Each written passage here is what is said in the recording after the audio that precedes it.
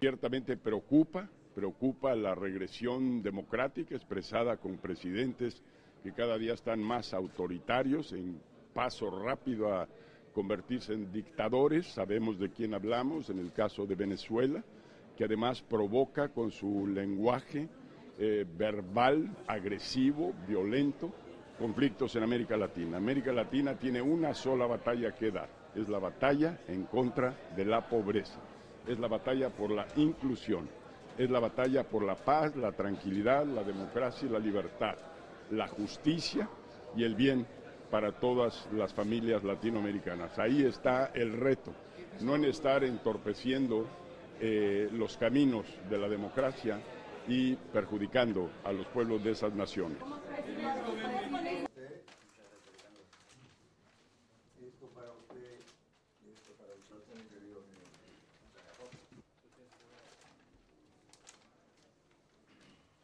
Espero que podamos, con el tema de conocimiento